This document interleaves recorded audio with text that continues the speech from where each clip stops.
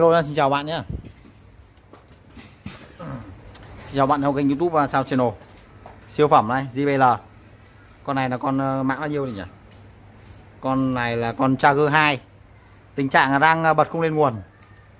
Không lên nguồn. Đấy hôm nay mình sẽ có một bài cho các bạn là Đầu tiên là tháo ra xem nội thất, Sau đó là tiến hành chuẩn đoán bệnh của cái dòng này nhé Xem là cách xử lý làm sao. Cái bệnh là bật không lên nguồn bạn sẽ tiến hành tháo cái loa ra nhá. Các bạn sẽ dùng cái nậy như này cho mình này, cái đầu nhọn đấy các bạn sẽ bậy cái này ra cho mình. Cái loa này là ông cũng tháo ra rồi, thành ra là dễ các bạn ạ. Từ hôm nay ông tháo trước rồi. Nhìn này, đây không biết tháo này. Tháo ra xong ông ấy không kẹp cái mắt BNG lại. Thành ra đấy mình tháo rất là dễ.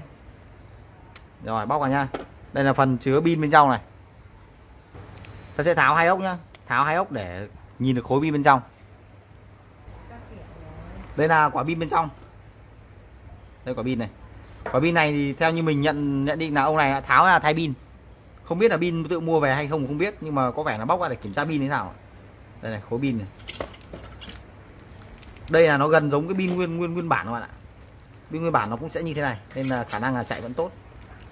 Bóc vào đây này. Đây là bóc ra, chắc là bóc ra xem xeo xem nó có sửa được không. Đây chờ chút nha, bóc vào đây. Ra phần bên trong các bạn muốn tháo tiếp thì phải tháo cái khung này ra. Rút cái mặt này trên ra thì sẽ ra được phần tiếp theo của quả pin này. Từ tháo ra kiểm tra riêng quả pin này. Ta sẽ tháo cả mặt trên này ra nhá. Tháo mặt trên này ra thì mới ra được hai cái ốc tiếp theo để mở cái nắp này lên. Thì mới nhìn được cái khối pin bên trong. Thì mới ờ, nhìn được cái mạch bạn ạ. Tháo nhá, cái này nó sẽ có chiều để cho các bạn tháo. Thì các bạn chú ý là lắp mà tháo đúng chiều cho mình. Đây, bóc rất dễ này, hình như là cái này ông tháo rồi thì nó dễ, chứ còn bình thường khi những cái loa này đầu tiên tháo rất là chắc luôn. Đây, tiếp tục tháo cái ốc này nhá, để rút khối pin ra. Ta mở lắp vào nhá, mở lắp vào xong này. Để riêng hai khối ra này. Tháo tiếp tục ốc này, tháo khu ốc này, tháo hẳn ra, để à, rút được quả pin này ra. Ốc các bạn sẽ nhớ vị trí cho mình nhé để lắp lại đúng vị trí cho nó.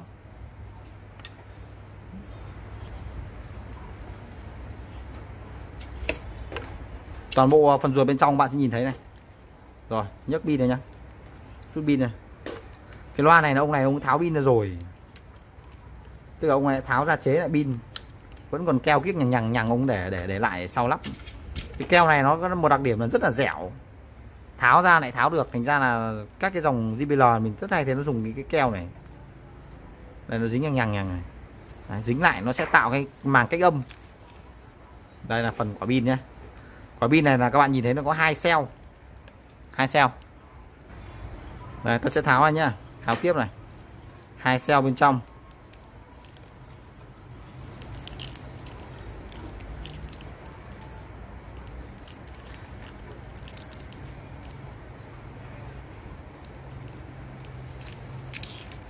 Bóc ra nhé khả năng là pin này vẫn nguyên nhưng ông này bóc vỏ ra xem.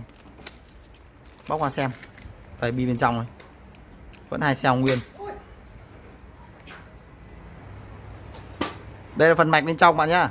Mạch bên trong thì đã có dấu hiệu là bị à, lỗi rồi. Ba con này quản lý. Đây, mạch bên trong đây. Bây giờ các bạn muốn mà nhanh nhất thì các bạn kiếm một cái quả pin của con này này, lắp lại cho nó, thử luôn. Thì là dễ nhất. Quả pin này đang có dấu hiệu hỏng rồi. Chưa đo mạch. Chờ chút, bây giờ mình sẽ đo mạch kiểm tra từng viên một nhá. Xem nhá ta sẽ đo điện nhá. Xe pin đang báo là 3.7V này. Thử uh, xe bên này xem nào. Cũng 3.7 thì tức là xe này hết điện mà cái mạch bảo vệ này nó đang không cho ra điện. Thì không biết con này ra được bao nhiêu điện đây? Chờ chút. Nhưng mình thấy như con này bị chảy nước rồi thế nào có dấu hiệu bị chảy chảy nước rồi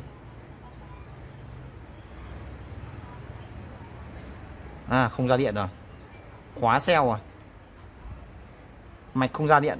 Đầu à đâu? Đầu ra vẫn báo 3 3.7V đây mà, làm sao đâu. Lại nhỉ.